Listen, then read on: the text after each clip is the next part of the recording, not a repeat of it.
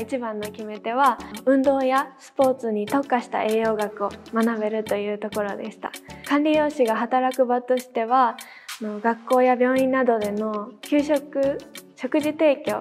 のイメージが強かったんですけどこの大学でなら幅広い分野の栄養学を学んだ上で卒業後の進路についても広く視野を広げられるんじゃないかなと思ったのがきっかけです。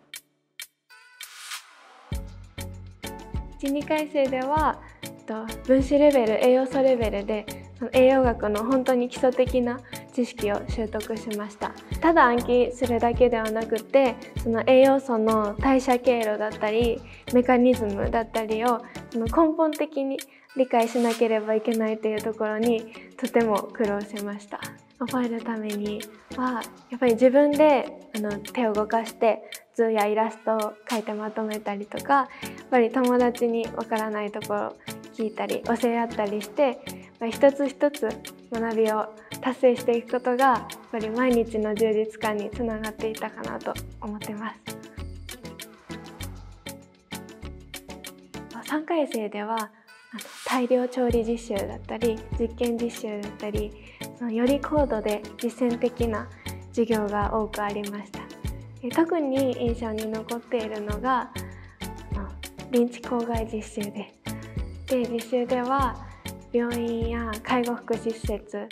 と学校保健所とかさまざまな業務を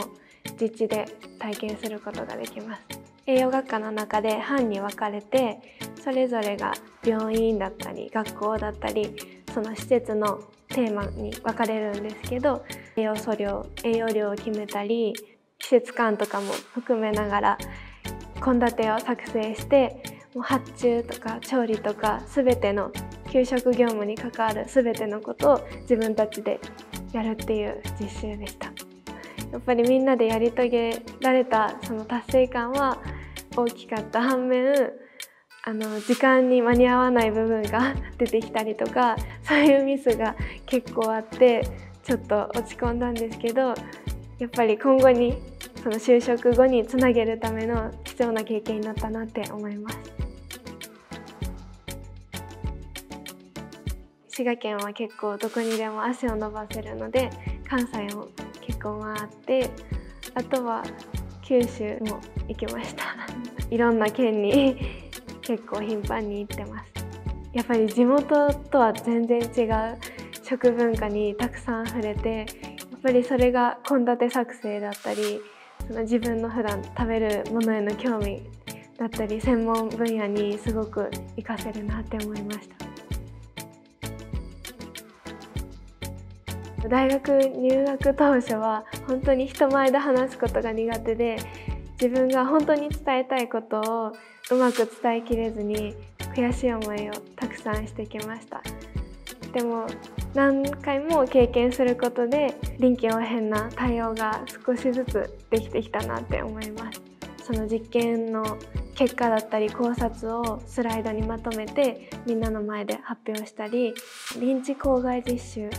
の報告もメンバーでまとめてその大きいホールで発表するっていう機会が結構たくさんありました。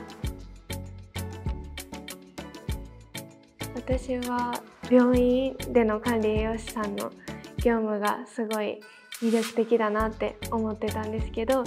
その病院だけじゃなくて最近は調剤薬局などでの管理栄養士の活躍が見られることもあってその食物と薬の相互作用についてさらに理解を深めたいなと思ってます。